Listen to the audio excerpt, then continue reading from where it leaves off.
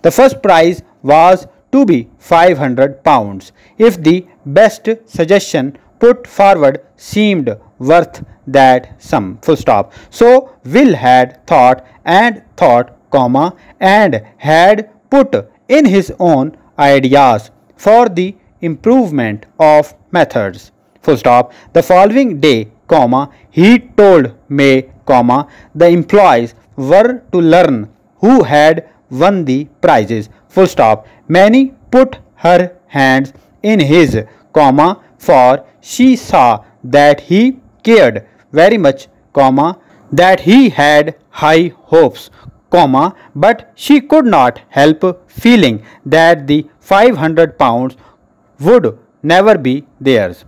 Full stop she was wrong comma will won the prize comma and his suggestions were considered to be so outstanding that the directors of the company had marked him down as a man worth watching full stop. So on that lovely day in june will and may had some houses to look over comma houses in the country with rooms with a view. The first of the houses turned out to be much too large spent on it before it would be any good at all. Full stop. The second house comma on the other hand comma was too small. Full stop. It was a pleasing little place comma very clean and well planned comma but far too small.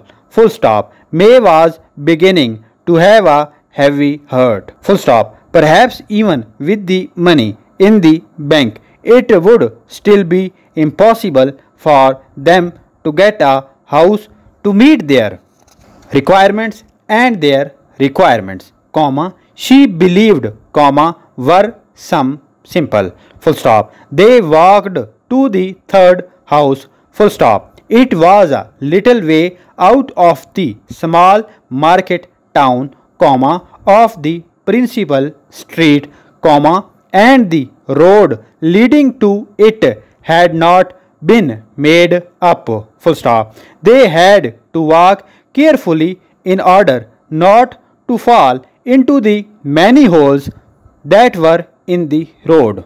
Full stop. Oh comma dear comma this is no good. Though may and then they saw the house. Full stop. Set well back from the road. It was placed by itself in a wide piece of land full stop.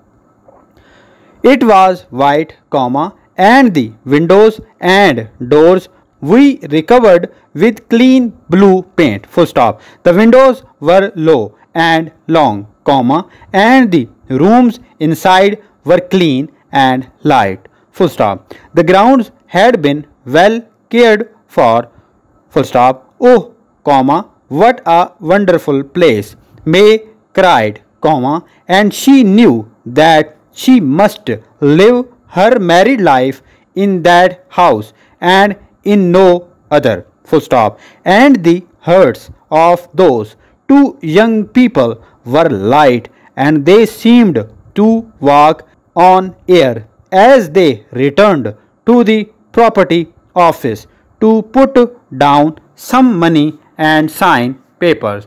Full stop